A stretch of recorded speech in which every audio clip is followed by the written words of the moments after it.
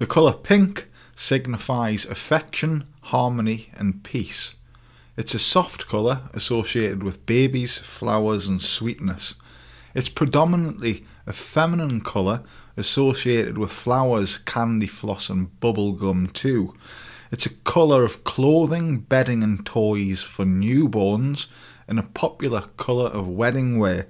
Pink is anti aggression and the softer side of the overpowering red. Grey is a neutral colour which is without immediate emotion, yet is usually associated with meanings of dullness and moodiness. The colour is dull, but can be sophisticated and conservative in certain applications. Grey is the light black and so removes in part the associated negatives of black and provides a more diluted solution.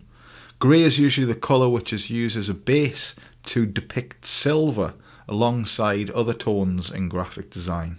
Black is the colour of darkness, which is known to reflect light and is, when perceived, a lack of colour. Black is only a colour when it's in the form of a substance or an emission. A wearer of black can appear more slim, as a black room can appear smaller.